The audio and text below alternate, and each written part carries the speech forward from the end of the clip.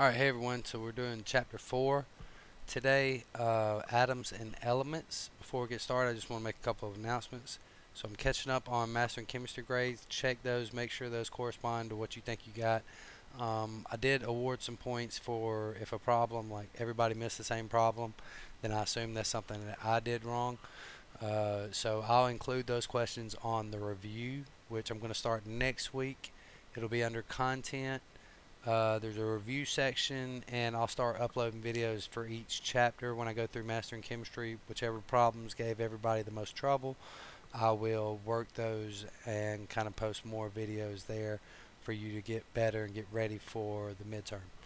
Uh, secondly I want to say uh, so if you have any more questions about uh, previous chapters you can email me those and I'll include those in the review as well.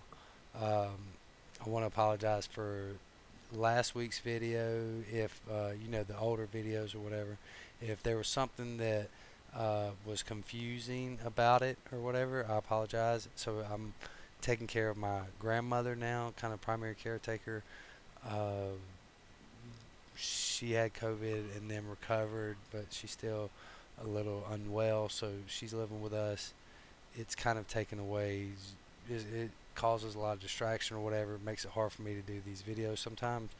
I've switched to the headset mic so you'll hear me breathe a lot more, uh, but hopefully it'll decrease the background noise that you're picking up. So um, that being said, everything's good. Uh, I've got my iPad back working. Um, and these next couple chapters are short and more or less uh, just concept based, not a lot of math. So yeah, not a, not a lot of math that I can think of. Maybe a little bit, but not much. Not like this last chapter was. So uh, for those of y'all can kind of breathe easy, people that hated math that much. And let's get into chapter 4, atoms and elements. So I'm going to post the PowerPoints, uh, or have posted, we'll post these PowerPoints. Um, make sure when you go through them that you do it in present mode uh, because it allows you to look at individual questions like the study checks here. If you go through the present mode they don't all pop up at one time. Each time you click the next one pops up. So you can kind of test yourself on these different uh, study checks right? Let me go to the text first uh, and let's get into atoms and elements. Alright so an atom uh, one thing I want to talk about before I really get into it is uh, the wording that we that we use in chemistry.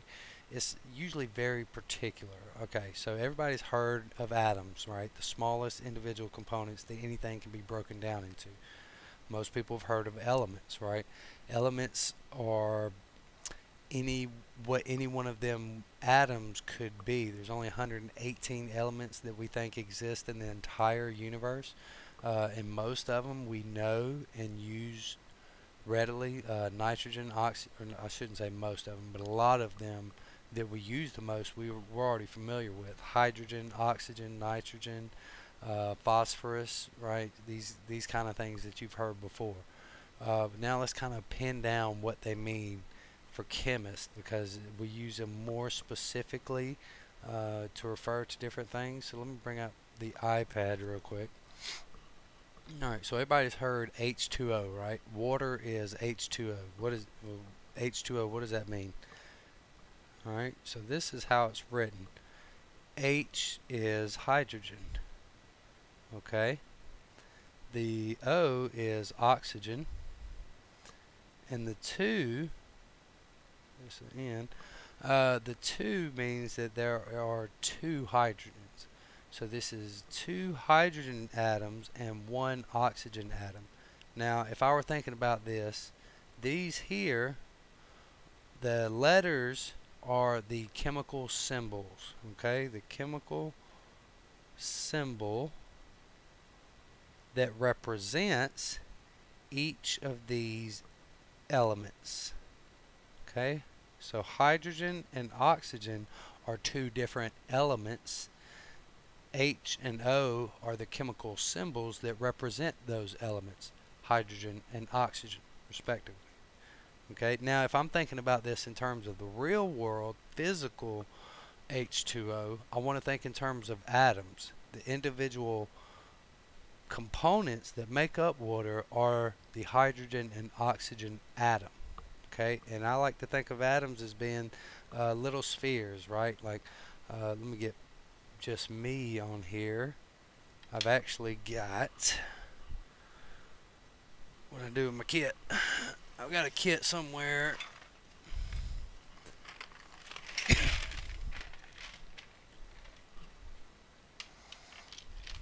nice.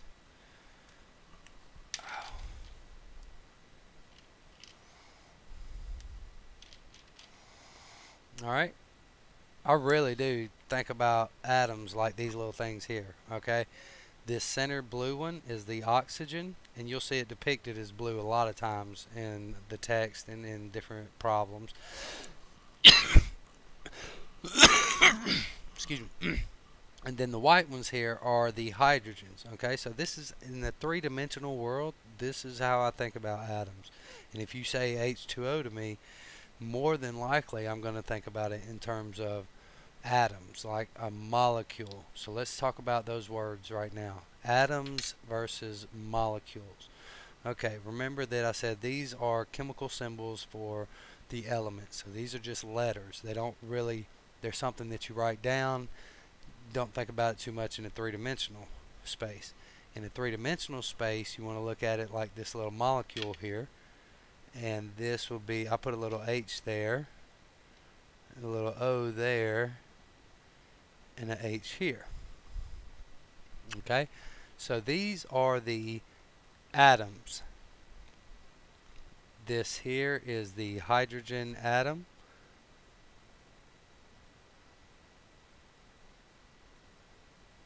This is the oxygen atom. And this whole thing is the um I need to adjust my hold on I can adjust this real quick.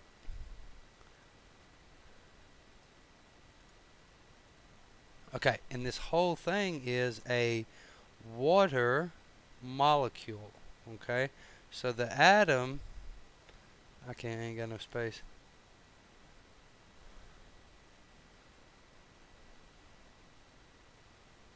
Molecule. Uh, so the individual components are the atoms.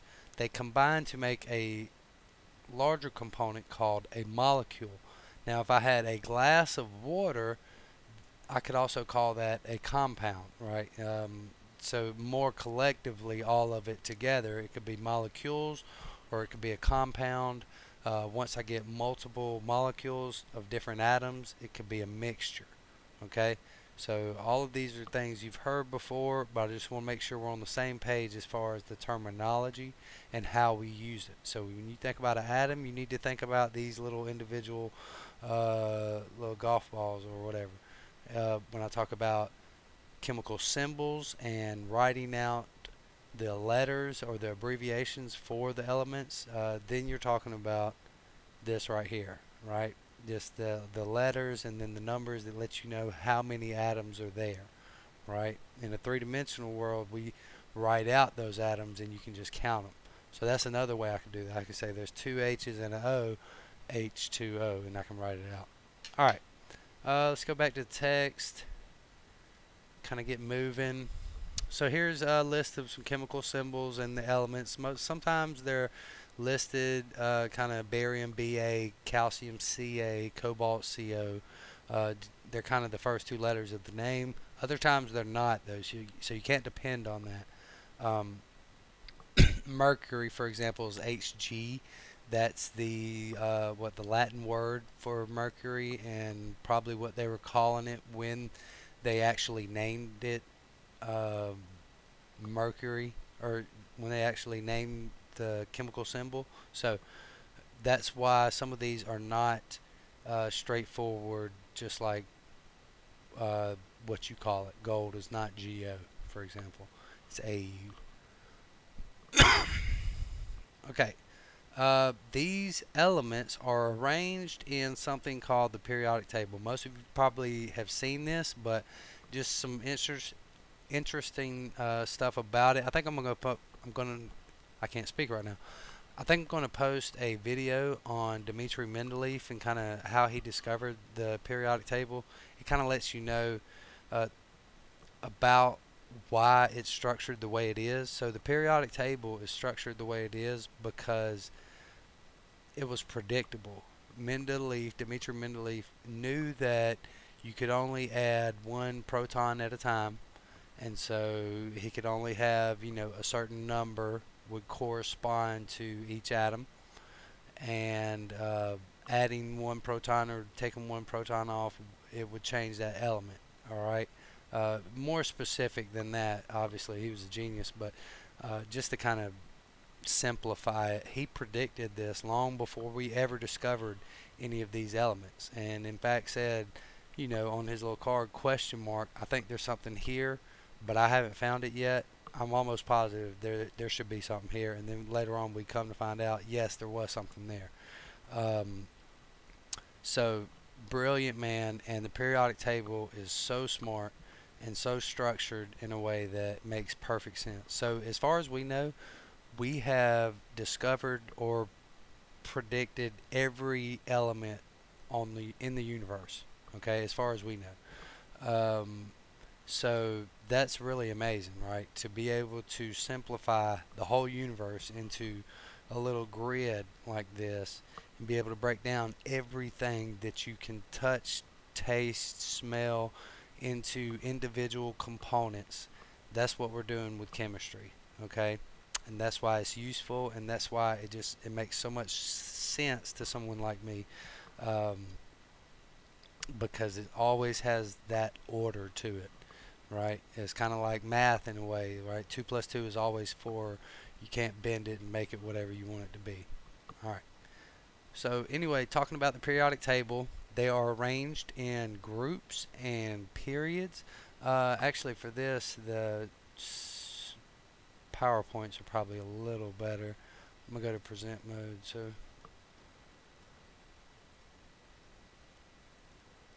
Pop, pop, pop, pop. Go through here and do your little study checks. Um, oh, this illustration, uh, I'm going to change topics just real quickly here. So these are all carbon atoms. The same thing I was doing on my iPad here. Uh, this is a representation of the carbon atoms in diamonds and in pencil lead, graphite. Um, so notice how different those materials are, right? Diamond is one of the hardest substances on the planet. Uh, graphite is so soft that it basically breaks all the time. While you're writing on your paper, it just breaks away onto your paper and leaves a little trail of carbon on your paper. Alright, so one is extremely soft, one is extremely hard, and the only difference is they're both all carbon atoms. The only difference is the way that they're connected. So, not just knowing what atoms are in something or what elements are in something is not enough information. We have to know how they're connected and how they fit together uh, in order to be able to predict what they're going to be like or how they're going to act. So there, there's some chemistry links to help. These are also in your text. I like reading these because it can kind of um, give you some real world perspective on chemistry and why it's important to know it and maybe uh, is make something click like when we talk about mercury you'll say oh I know what that is this is has to do with this health condition, right? Or um, what was the last example they had? Oh, was also mercury. But the text has some others. Um, I've always looked into the medicine and the like the anatomy portions of chemistry.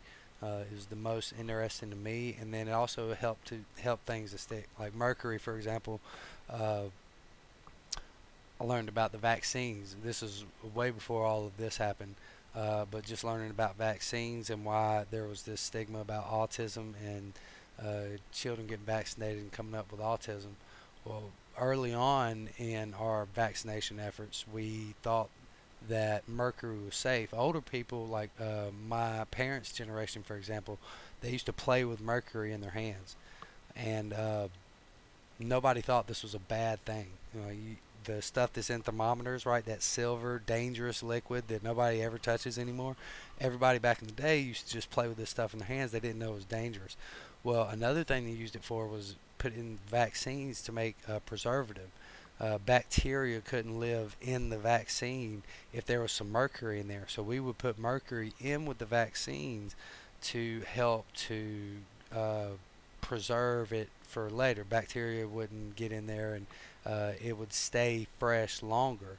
Well, come to find out, putting mercury in your body is not a good idea, and we learned that the hard way. So, uh, people get over ambitious all the time. I like to look at those uh, kind of health backgrounds. It just um, helps me understand the chemistry behind it. In fact, mercury itself is not that dangerous. It's when it becomes oxidized, something uh, we'll talk about later in class. But uh, it has to change its form, just like graphite and diamond are two completely different things. Mercury has to change its form from that physical silvery mercury form to something else before it actually becomes dangerous. Now, if it gets in your body, it's going to do that naturally. Your body's going to do that for it. It's going to convert it into different things as it tries to get rid of it, in fact, hurting yourself. So, uh, like I said, chemistry, it, I love it. Um, as you can probably tell. I'm such a geek, but it is really interesting. So go through and read some of those uh, health topics on chemistry. Uh, I think it can be useful. Maybe spark some interest or whatever. So here goes what I was talking about Dmitri Mendeleev. Uh, I'll probably post a video talking about his uh, work just because it's also very interesting. But he broke them down, and so there are groups and periods. The groups run in vertical lines. Let me make sure y'all can still see what I'm seeing. Okay. Uh, the groups run in vertical lines and we call those individual things like group 1 is all alkali metals, group 2 is all alkali earth metals, so on and so forth. Um, there's kind of a weird way of reading this. So one two three you skip all of those transition metals down here on in the middle let me see. Um, I got my little. okay, yeah. You skip all of these, and actually, group three technically starts right here with boron.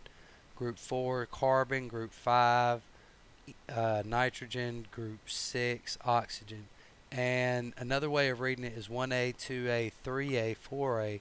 Then, when you get finished with the group with the A groups, you come down here and start 3B, 4B, 5B, 6B, so on. Okay. So remember, when you go in group 1, group 2, skip all the way to boron before you do group 3. Okay? And we'll talk about why that is here in a minute when we break down the atom. Alright, periods. Periods go uh, horizontally and run top to bottom.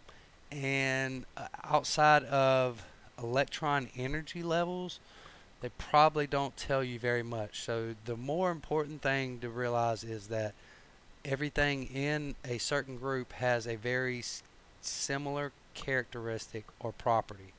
All right. Um, property is another word of saying characteristic. So uh, I am uh, a golfer. I, I, think of myself as a nice person, um, active, uh, caring, whatever. So those are all my characteristics. Uh, people in my family share those same characteristics. Okay, so we're all part of the same group. All right that's kind of how I think of it. Um, okay. Let's keep going. Where am I at?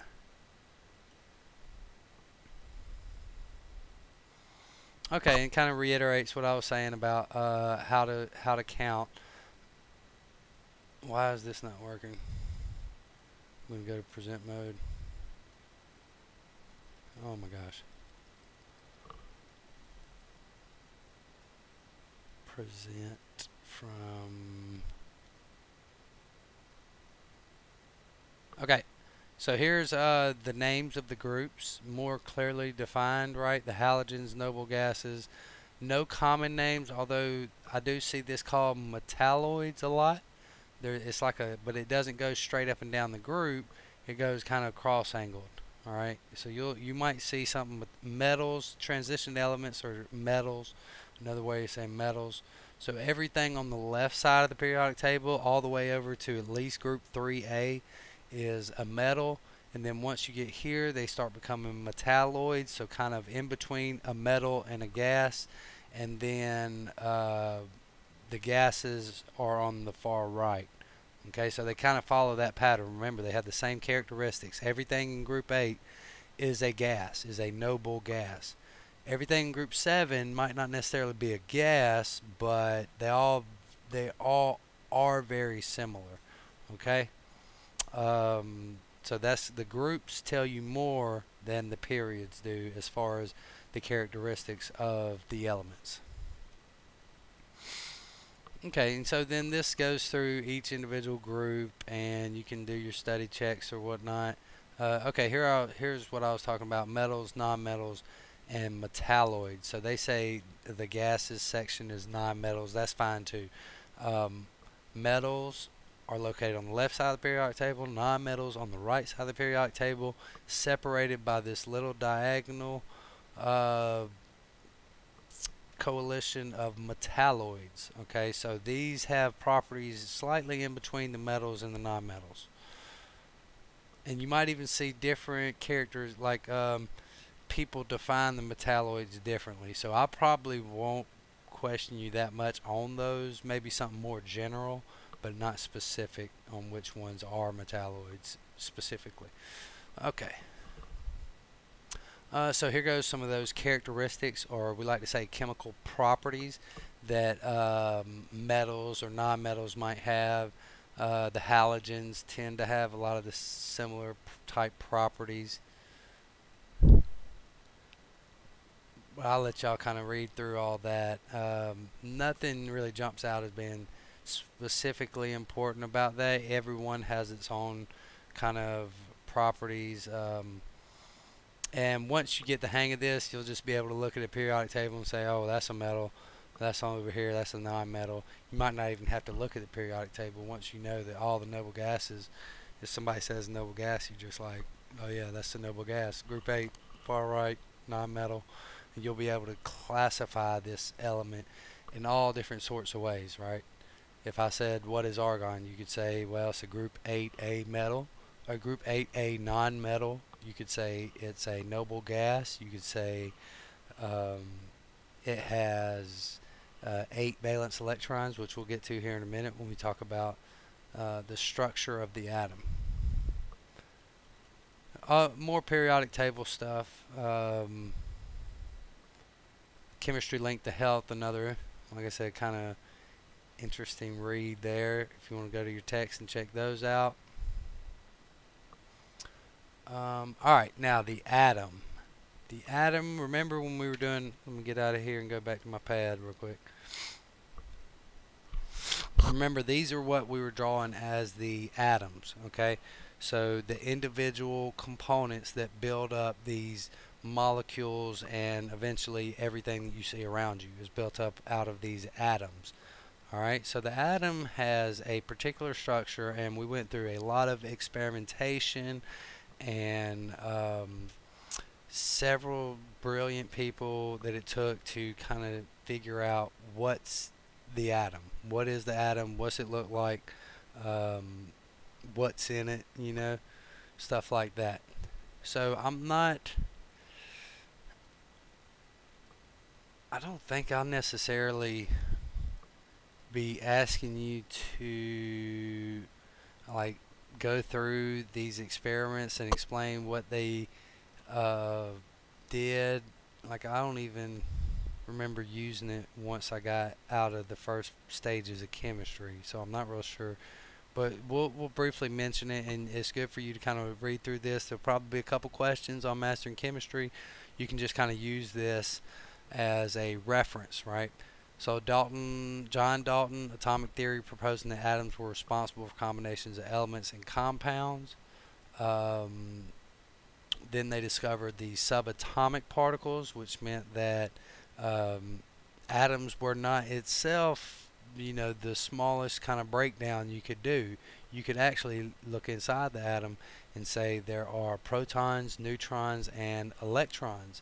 They might not have known what each one of those were at the time, but they knew that there were different forces or different molecules, I shouldn't say molecules, different particles, subatomic particles that were at play within the atom even. And that's what might lead to different structural connections, right? Something different inside of those carbon atoms or different ways that they were arranged, the subatomic particles were arranged, allowed them to make diamond or maybe went the other way and made the pencil lead, graphite, right?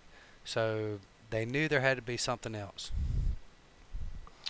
Uh, and so then we started doing these. Uh, the cathode ray experiment proved that they were charged, that they had these positive and negative charges on it. And so when he shot it through a magnetic field or whatever, like two magnets on each side, uh, it would pull towards one side. So that's when he knew that there were electrons, they were negatively charged. Um, let me stop right there and go to the iPad to kind of illustrate something about this. Alright, so you've always heard that uh, saying opposites attract, right? And when we think about magnets, you think about it in terms of poles. So uh, let's just say this is my magnet. I have a positive and a negative pole, okay? My next magnet is right here and the positive end is right here the negative end right is right here. These two here will be attracted to each other okay? And then this will attract to this side right? And then by the time everything is bumped around and moves around together uh, I'll have my two magnets will be stood up right beside each other plus minus plus minus and those charges will the opposite charges will attract to each other okay? So that is kind of what's at play here in the atom okay? Except for in the atom we have three different particles all right? The first is the neutron okay? The neutron the electron and the electron I'm just going to put a little minus there. Um, it's very small, much smaller than the proton and the neutron. So I'm going to write another big one here for proton. Okay, so three different subatomic particles that you need to be concerned with right now.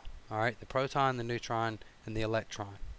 Now in the atom, all of your protons and neutrons are in the nucleus. Okay? So for those of you who know anything about biology or anything like that, you've heard the word nucleus before. It's just the center. Okay, so all of my protons and neutrons are in here.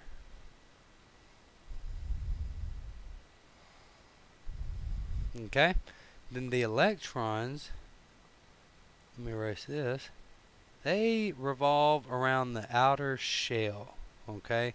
Around the outer edge, away from the nucleus even. They got their own little space that they reside in around the edge. And so what we do for them is we draw their own little orbit. We call this orbit, electron orbit specifically. And I'll put a little electron there.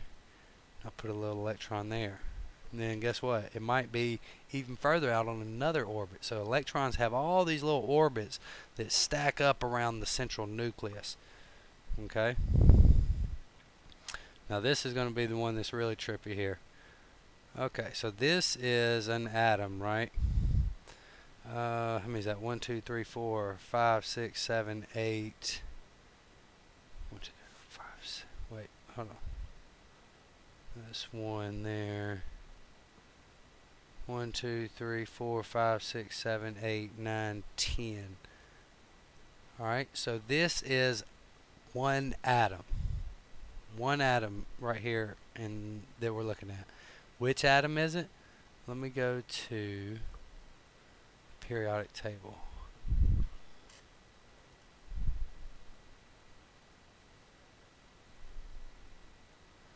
One, two. Notice how I counted those electrons on uh, the atom? One, two, three, four, five, six, seven, eight, nine, ten. This is a neon atom. Okay? So, the atomic number, the number that's above the uh, chemical symbol or the element, uh, that is actually listing the number of protons. Okay, so let me go back to my thing. Just so we're clear, uh, this model that I just drew here of an atom is a neon atom. So the same thing that we did here, uh, where was that? With the hydrogen and oxygen, if I were going to draw an uh, let me draw, I guess I can draw the hydrogen atom first. The hydrogen atom, it would be a nucleus here, and then an electron here. Okay, and in the nucleus I got one proton and one neutron.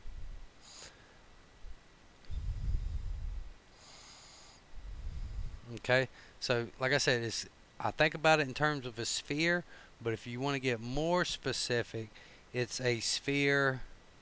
It's almost like its own little solar system, right? With the sun being the nucleus, and then planets going around the orbits uh, those planets are the electrons and the sun is the nucleus okay? So if you want to get more like specific in the breakdown of an atom uh, it's actually got a bunch of different orbits around it with these electrons. Alright so uh, now we know what an atom looks like up close and personal. It's got these subatomic particles the proton the neutron the electron.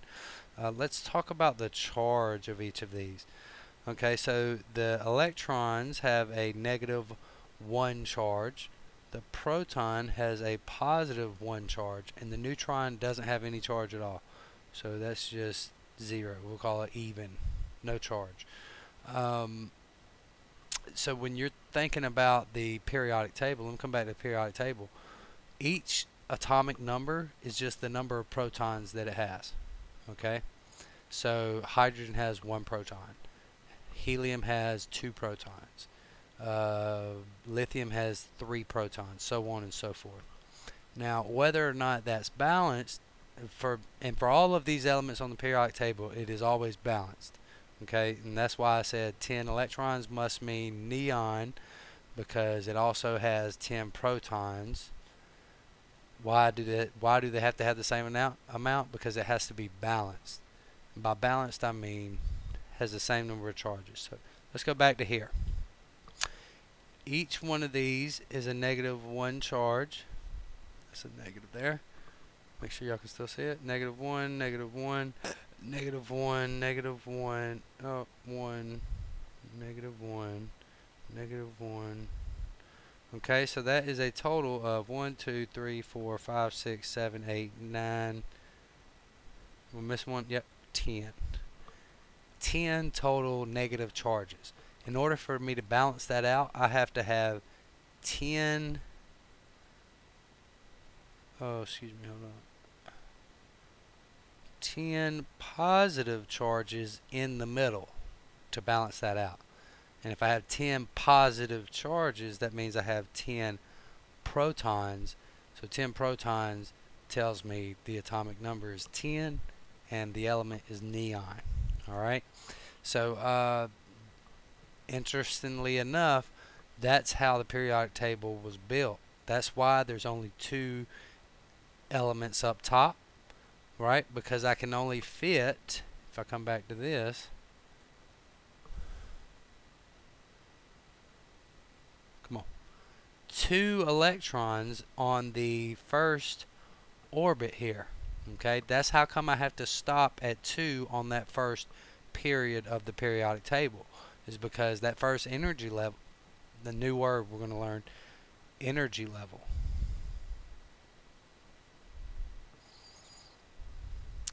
The energy level is essentially which orbit that the electron is sitting on.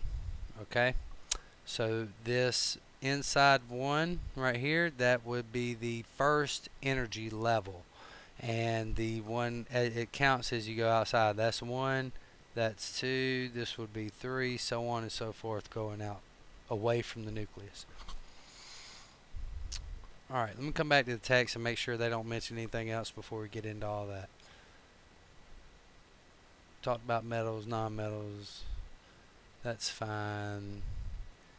Atom has an electrical charge and it was found through various experiments. Um, we represent the mass of an atom with something called the atomic mass unit and it's very small so it has a scientific notation like 10 to the negative, uh, 24 or something like that. Oh no that's the proton mass. So we know the pro the mass of the electron the proton and the neutron uh, the proton and the neutron essentially just weigh one AMU the electron is very small so tiny in fact that we don't even count it when we do calculations for atomic mass okay? So general generally if I let me look at this. As just like a general principle you can think of the atomic mass of being the pro the number of protons plus the number of neutrons so let me write another page here uh, atomic mass equals protons plus neutrons. Uh, gosh, I don't even know how to spell neutron. Neutron. Okay. Uh, so you've got a couple skills here that you can use, and I imagine Master Chemistry is going to test you on. Uh, number one, the atomic number. Let me pull up a periodic table. Let me actually do one on the internet. S periodic table.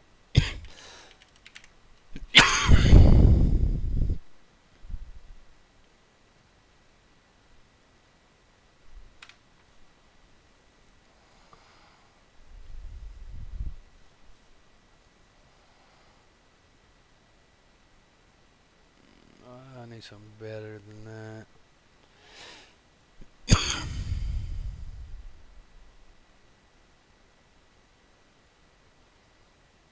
Okay, make sure y'all can see this. Oh, this ain't got what I need on it though. Hold on. One more. One more try.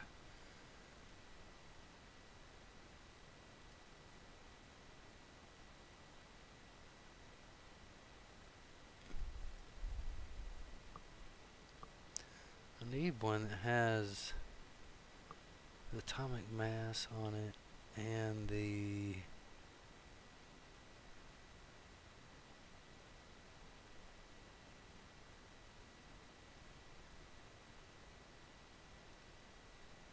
Okay, here we go. oh my gosh, stop it. Alright. So the top number is the atomic number. Oh, this has got them labeled perfect. Alright, so the chemical symbol is the letter. The atomic number is the number of protons. Alright, the atomic weight is also a name for the atomic mass. So this is the atomic mass. Um, this one actually has the electron shell configuration, which you'll understand what that means here in just a minute. Uh, let me talk about atomic mass first. Come back to that. So notice here that hydrogen has an atomic mass of 1, but it also has an atomic number of 1. So if I look back at my equation here, that means that um, hydrogen only has one proton and zero neutrons because its mass is 1. Okay, so let's look at another one, uh, kind of give you an example. Helium has an atomic mass of 4, but an atomic number of 2. Okay, helium, atomic number 2, but a mass of 4.008 or something like that. So if I want to know how many protons and neutrons are in there, First, I determine how many protons. Uh, that's easy. It's the atomic number, so two protons. Write that down. Protons, my pen's sticking. Uh, and then subtract from subtract that from the atomic mass. And you can just round it. So two neutrons. Remember this extra little bit uh, comes from a couple different areas. We may talk about that later and when we talk about isotopes. Okay, so by having the atomic number and the atomic mass, I can calculate the number of protons and neutrons. If my element is neutral, the number of protons is also the number of electrons. Okay? So, that ought to get you through parts of mastering chemistry for sure. Um, use a periodic table, download you one or I think there's some in your book, and there's also one maybe in your lab manual. So you ought to have some uh, periodic tables. I think Mastering Chemistry actually has one. If you click up in the top right corner somewhere, it'll have a periodic table as well. So let me come back to PowerPoints.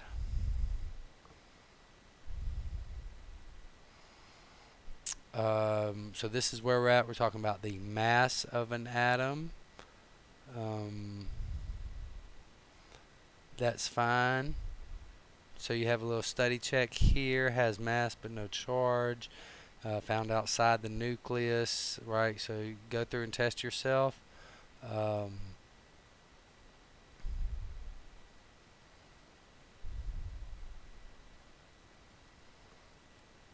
this all reiterates what I've been saying. So if you don't like the way I'm saying it, you can come through and read these PowerPoints and it kind of illustrates the same thing.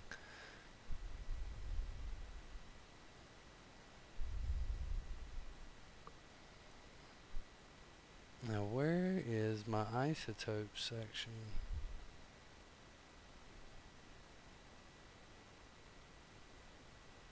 This is that uh, math equation so you can determine how many neutrons are in there as well if you know the periodic uh, the atomic number or have a periodic table handy.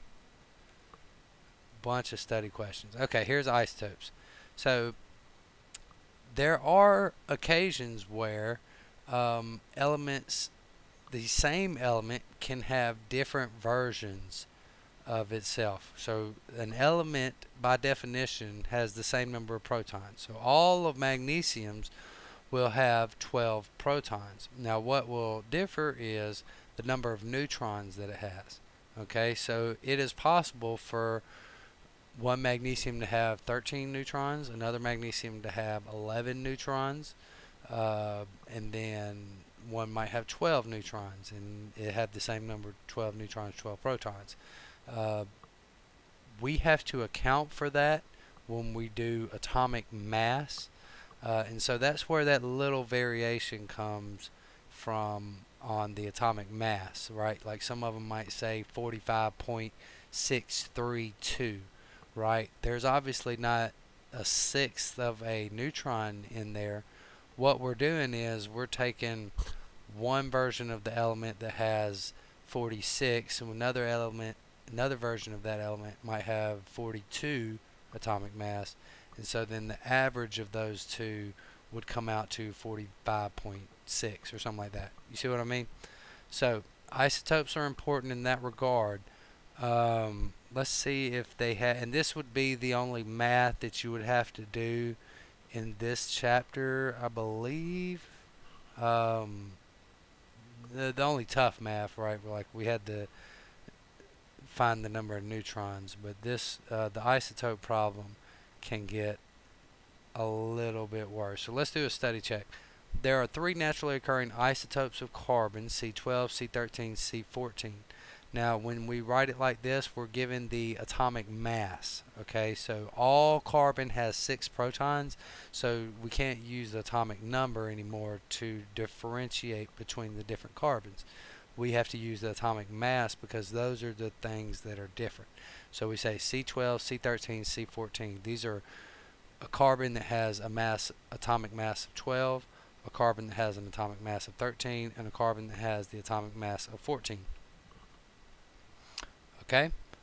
Um, and so you go through and determine how many neutrons, right? Each one has a different number of neutrons, and you could go through and determine how many of those there are. Now, uh, it also study check you write your own version. Remember the atomic mass goes on top, the atomic number on bottom. Make sure y'all still see. Okay. Now where are the math? Here's the atomic mass portion that I wanted to get to. Okay.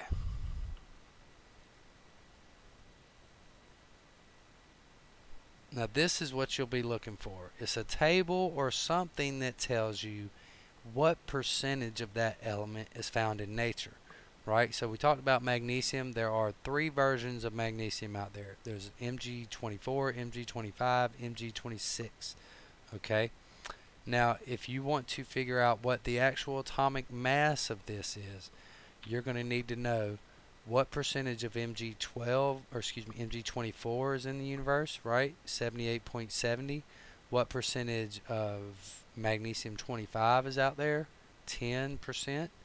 And what percentage of magnesium 26 is out there? 11%. Okay? So now the way to calculate that, let me pull up my iPad and I might have to get a calculator too. Let me clear this out. Alright, so we said MG. Oh, uh, I can't read it no more. Just a second. I'll write it back on here. MG24. MG25. MG. Nope. MG26. Uh, make sure y'all can still see me. Okay. Now below it I'm going to write the percentages because that's really all I need to know. 7 below this one is 10.13 and then below this one is 11.17 okay so now all of these added together will make 1 right because they're a percentage so what I want to do is I want to factor in how much of that percentage is this element. Okay. Oh, I can't see if y'all see me. Yeah. Okay. So the way I'll do that is I will multiply this times that, this times that, and this times that. Now remember these are percentages, so let me put a percentage on there. Um, and then add all of them together. Okay, so for this one, I'm going to say 24, right? 24 is the atomic mass, so that's where I got that number from, Mg24. That is the atomic mass. Uh, times, and then when you write a percentage in terms of a decimal, remember to move your decimal two places to the left, okay? So 0 0.781, no, 787 no, stop, stop. 787. And then that is going to be added with 25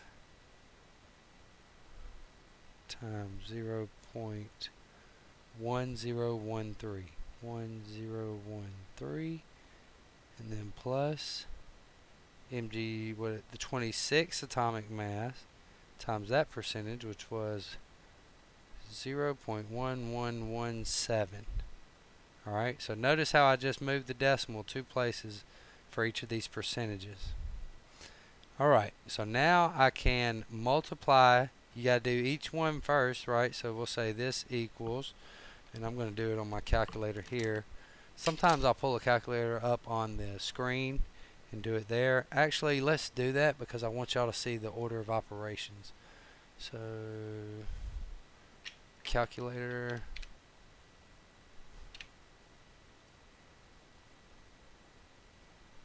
Uh, make sure you all can see. Okay. Let me see. This one's better. I think it pops up full screen. Yeah. Okay, so first up, we're going to do 24 times uh, 0.787 and then that equals 18.88 notice I got it right here I'm gonna leave that there and I'm gonna do the next one because the order of operations is important 25 times 0 point up 0 0.1013 enter there and then 26 times 0 0.1117 okay you got to remember to do your multiplications anything inside those parentheses first and then I'm to go through and I'm to add all three of those numbers up on the side. So 18.888 plus 2.5325 plus 2.9042 equals oh it didn't do that last one. Um, I should have came back here. Plus 2.9042 equals 24.3247 so let me write that down right here. Um, uh, what we say? 18.88 um, that was 2.53 and 2.90 all of those add together to equal 24.3247 all right so 24.3247 is the actual calculated mass of magnesium. So just so you understand what I'm saying, if I go to the periodic table, uh, click on this, didn't I already have one out? Click on that, click on this, click on that. Magnesium, right here, 24.3247.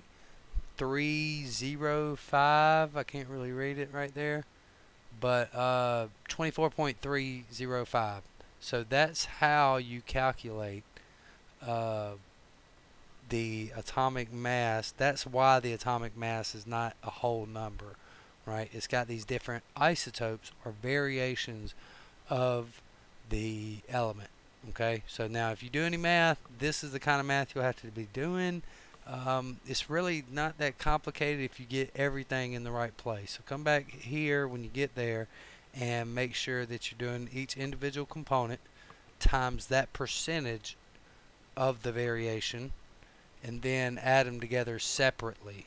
Do uh, mass times percentage plus parentheses mass times percentage close parentheses plus parentheses. And you got to be careful when you put it in your calculator because the, the calculator will mess it up sometimes. It doesn't always recognize those parentheses as separating um, certain parts, right? It should.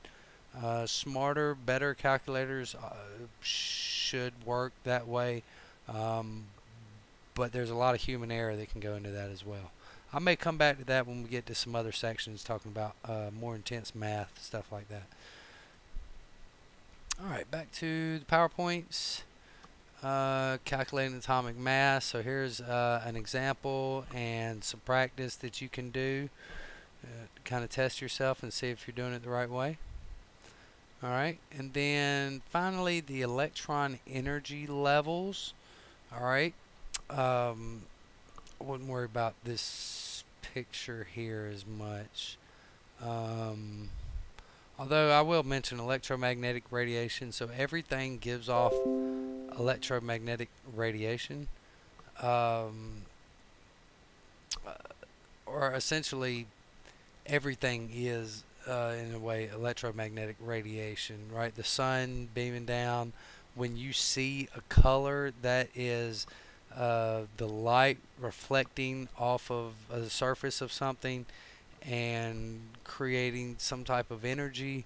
And when it bounces back into your eyes, you see it as a certain color. So this is these are kind of highly technical things, um, but it is important to remember that just uh, radiation, electromagnetic radiation is everything. It's, it's the sun beaming down. It's when we see colors, that's us using light, right? Light is that radiation being reflected off of things. You can't see anything in the dark because there is no radiation there to uh, illuminate things, okay?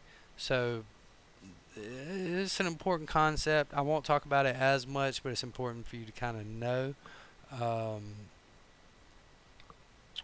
the spectrum here, uh, radio waves, different things have different levels of energy. And now this is different than the electron energy levels. Um, high energy, uh, like X-rays, ultraviolets, everything on this right side. What, make sure you are seeing what I'm saying. Okay, everything on this right side is very high energy. It has a large frequency, and the frequency is is directly proportional or inversely proportional to the wavelength, which is how quick it goes up and down. So the further, the smaller the wavelength, the faster it goes up and down, the more energy. Okay, uh, but it also means it has a higher frequency. Uh, the lower frequency, so, so something like radio waves, they have these long wavelengths that stretch out like this, and this is in terms of meters, so you're talking miles long wavelengths that take miles to kind of oscillate and do this little number here. Uh, but they're very low energy, right? So it's just a concept. Uh, really fast moving waves have high energy, okay? Uh, slower, longer moving waves, they go further, um, but have less energy, okay?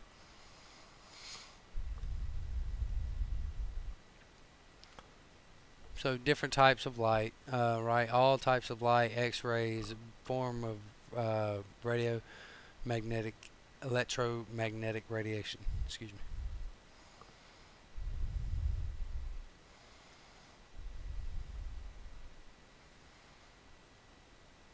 And then each element, uh, it kind of acts in a certain similar way. Uh, when an element is excited, those in those electrons will jump energy levels, and it might create uh, a radiation that will you'll see as a certain type of color. That's all this is referring to. We may see some of this in lab, may not. Um, but just know that each one of those colors corresponds to a changing energy level. Okay, like it's a different amount of energy, and because it's a different amount, it creates a different color okay? And so that's how we kind of use these colors to know uh, the energy changes of a certain element. Different elements may have the same color change right? Because they move the same amount of energy when they're uh, transferred. Alright so this is the last kind of point I wanted to make is about electron energy levels and this will also have the most impact on the periodic table and its trends. Okay, so let me come to, let me go back to the periodic table real quick. Click on this. Alright, so notice that uh, the periodic table is set up in this way.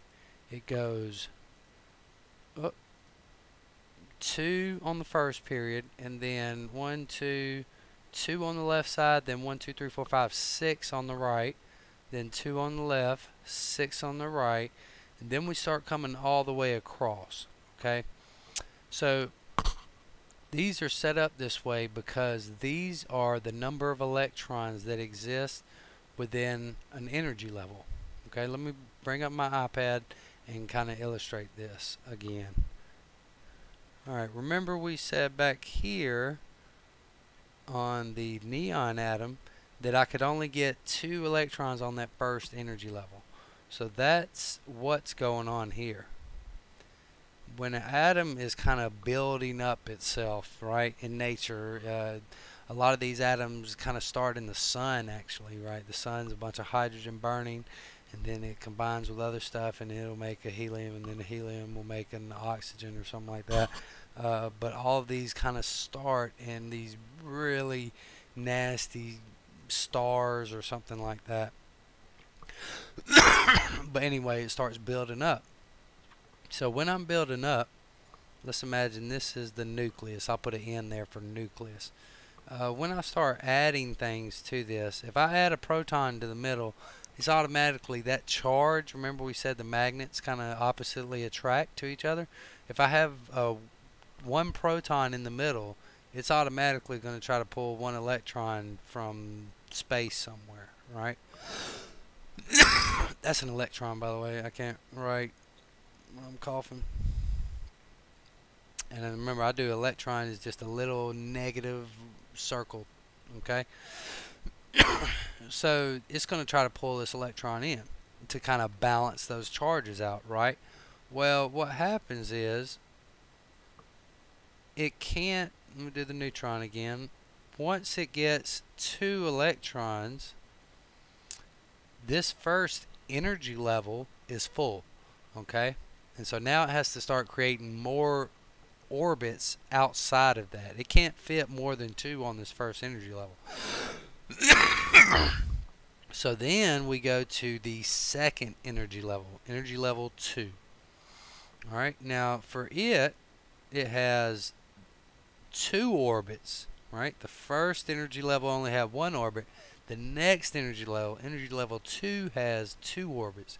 It has the inner orbit, which just like energy level 1, could only hold two electrons. this next one can hold up to uh, six electrons. Okay. One, two, three, four, five, six. Alright. So now all of this, both of these orbits are energy level 2. I'll just say n equals 2. I'm also going to erase the n off of that because we know that's the center of the atom now, right?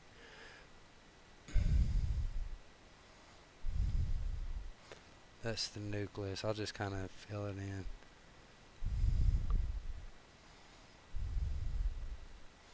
So that's the nucleus. Um, then then uh, this one here was energy level 1 alright so notice there's a pattern and there's there's a certain number of electrons that you can fill in in certain places before the orbit has to expand and as you get further out you can fit more and more electrons on there, which makes sense, right? Because the orbit is so much bigger the further out away from the nucleus you get. I can fit more and more electrons on there. That's essentially what's happening here on the periodic table. When I started out real tight to the nucleus up top here, I couldn't fit but two electrons around that first uh, orbit. Then I got a little further out away from the nucleus and my ring gets a little bigger, I can start plugging in more. That's when this next series of uh, electrons can be filled in. The boron through the neon and the aluminum uh, through sulfur, through chlorine, argon. Then once I get out here to the transition metals, I'm at these outer energy levels where I can put 10 or 16 electrons on the outer shell. Okay? So that's in terms of energy level. Let me also type in, just see what comes up. Electron energy level. Um, images. Let's see. So here's a good depiction. It says 2 on the inner shell, 8 on the next energy level, 18 on the third. Now they didn't quite break it down into uh, the individual orbits, they're kind of grouping them all together. Um, but there are like micro orbits, right, in between the larger uh, energy levels. So this is a good depiction, though. I didn't mean to click on that. Uh, let me see if there's something else here.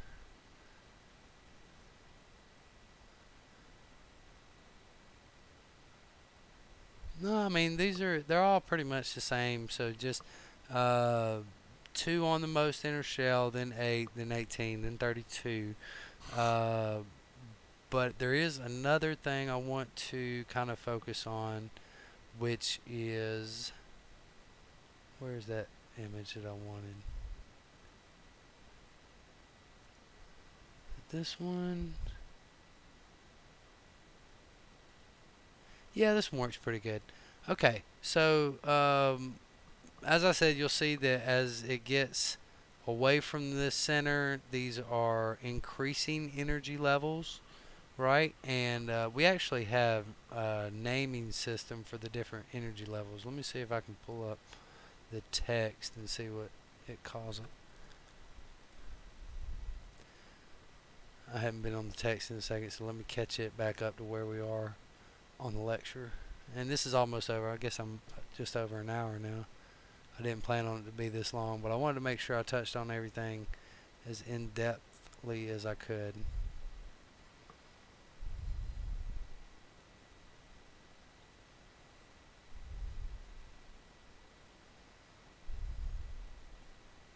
I guess they don't have the term for it. Okay. Uh, anyway, going back to the periodic table, this is the reason that the periodic table is set up this way, obviously, but it also creates these different things, these trends. Okay, the way these electrons line up on the on the uh, atom creates these different trends. So on your study guide, uh, let me show you. I keep messing up. Let me go to the book first. So it's 4.7. You'll see the section for trends in periodic properties. Alright, and it starts this thing called where we talk about valence electrons. Alright, so a valence electron is just the number of electrons on that outer energy level.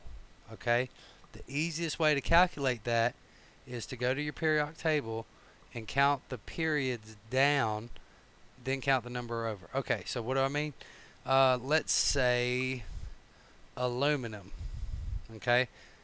Don't even worry about counting the periods. Just count the group number. Usually, most usually, the group number is going to be the same number as the number of valence electrons. So, uh, aluminum's in group 3. I have 3 valence electrons. Um, oxygen is in group 6, so I have 6 valence electrons. I'm put it on my iPad here and do one. Um,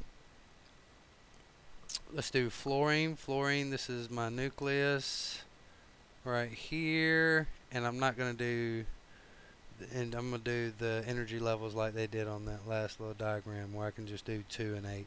Uh, so then 2 electrons on the first energy level. On the next one, I can put up to 8. But fluorine, if I look at my, oh, in my periodic table, Oh, y'all are on the. Fluorine has is in group seven, so that's how many valence electrons are going to be on that outer shell. The first two that I put in, those two on the inner shell, that was this hydrogen and helium electron, right? That inner uh, energy level. Now I'm on this next energy level, and I can put up to eight on it. All right. So back to bad. Uh, fluorine, however, is in group 7, so it only has 7 valence electrons. Valence electrons are just the number of electrons on this outer shell. So if it's in group 7, it's got 7 valence electrons. And it's pretty much that easy. Whatever group it's in, that's most most notably going to be the number of valence electrons. This can change if the charge changes, because a charge lets you know that there's not a neutral number of protons and neutrons, right? So, but in a neutral atom, uh, the valence electrons is the same as the atomic, as the group number, excuse me. So 1, 2, 3, 4, 5, 6, 7 valence electrons. This is fluorine.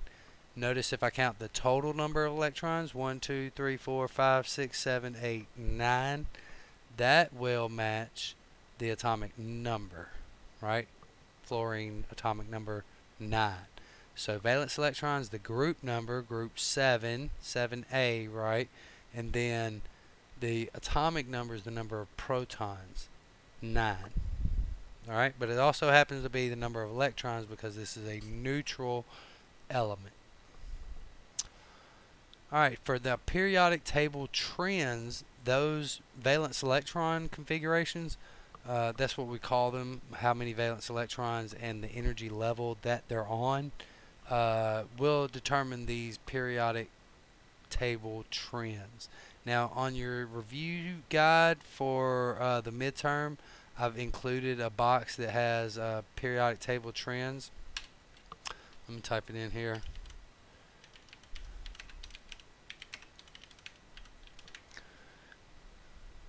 Periodic table trends, images. Uh, yeah, most of them look something like this. Alright, so just real briefly, I'm going to tell you what each one of these are. Alright, so the atomic radius, let me start with this one. No, that's not a good one, I guess.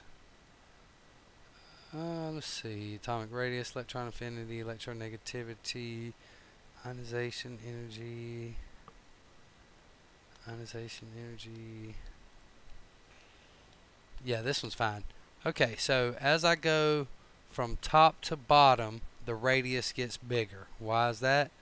Well, we said it earlier because the more I get away from the thing, the more energy levels I add on, the larger this circle gets. So as I go down the periodic table or the periods get higher, the more energy levels stack on the outside and the radius, the atomic radius is how far it is uh, across here, right?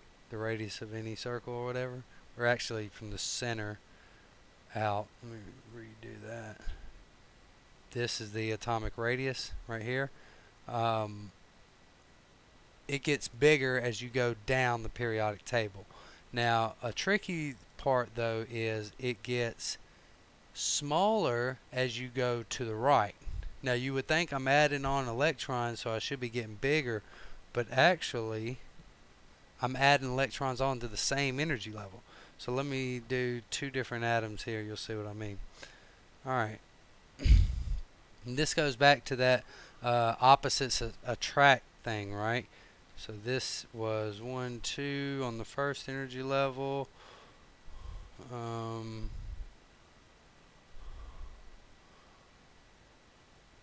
one two on this energy level here now remember this is just the nucleus in the center. All of these orbits are just electrons going around their energy level. Alright and so then on this one I got one two three four. Let's say on this one I have two. Okay so now what happens on the periodic table is the radius gets smaller as you go from left to right.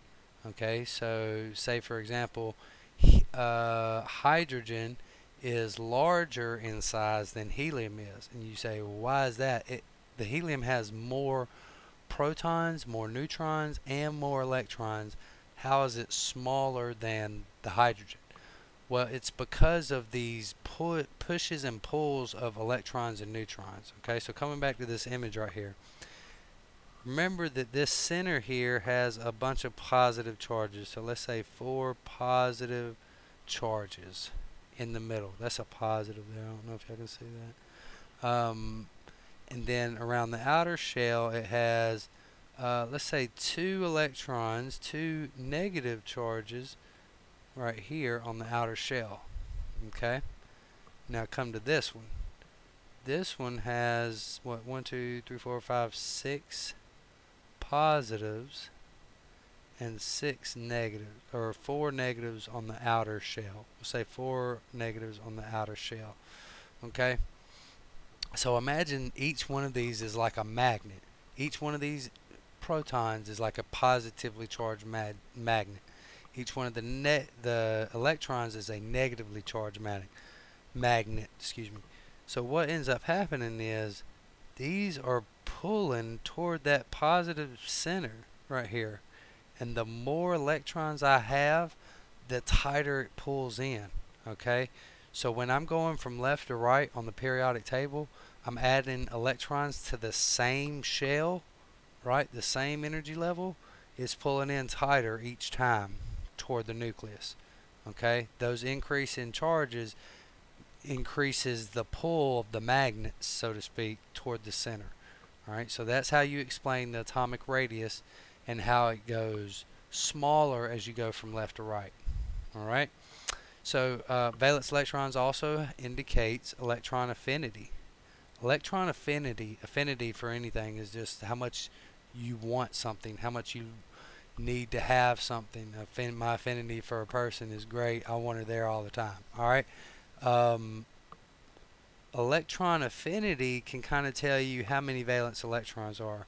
So one of the purposes of all elements is to get to a stable configuration. We call it stable configuration. That either means zero valence electrons or filled up valence electrons. You either want to have all or none in terms of valence electrons. So what happens with, let's say, two different atoms, let's say this one only has one electron, this one has two electrons, and this is just that first energy level. So that first energy level can only hold two, remember? Um, so essentially this one is filled. It is content. It doesn't have any affinity for any other electrons, right? It's happy with who it's with now. And so that means the electron affinity, I'll call it EA, is low. Okay? Because it's completely filled.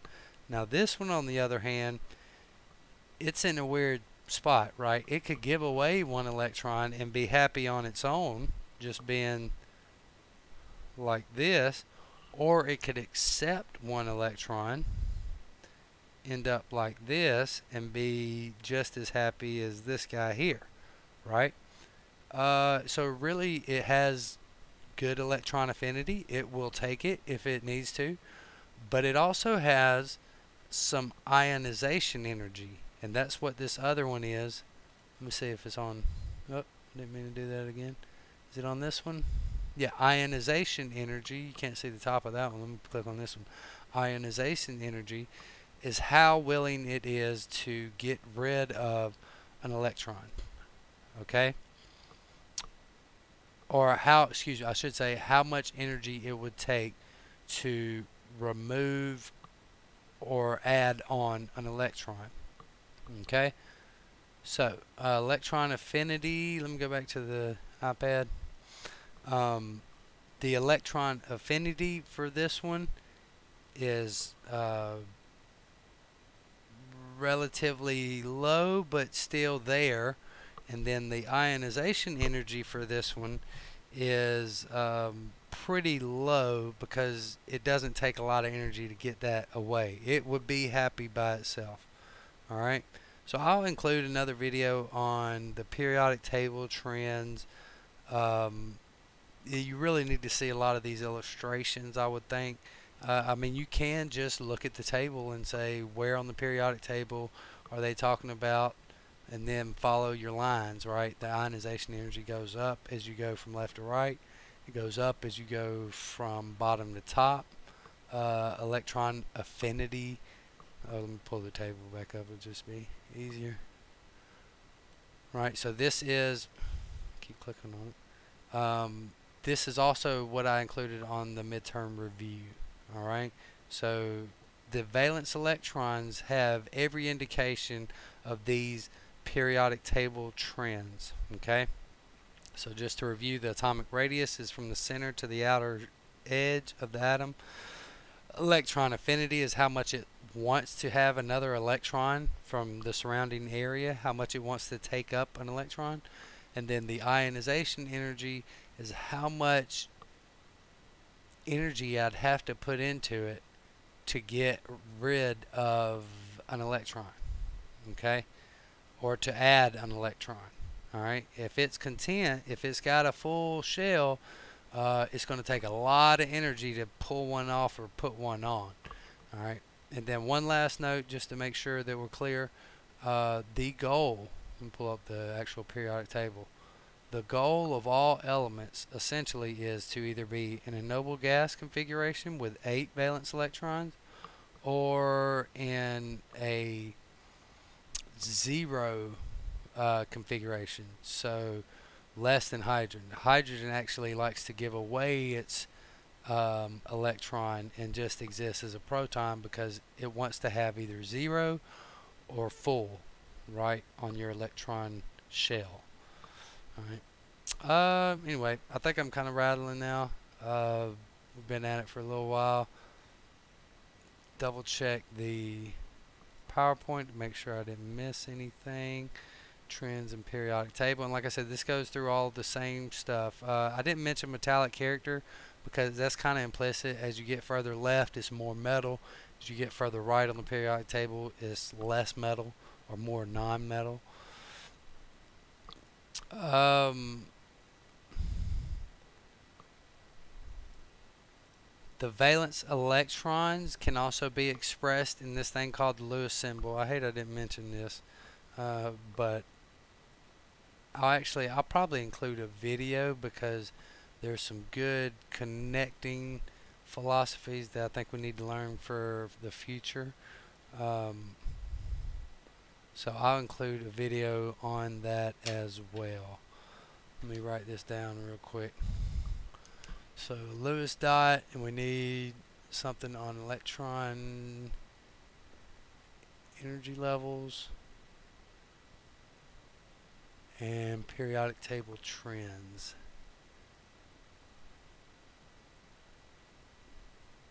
Okay, so I think those will be the hardest sections. Um, I'll put some extra stuff on the content page with all of that. Uh, like I said, this week was supposed to be a little bit less intensive. Um, so I spent more time kind of talking about each subject. I just I wanted it to be as clear as possible. Uh, email me if you have any questions, and I will have Mastering Chemistry posted by this evening.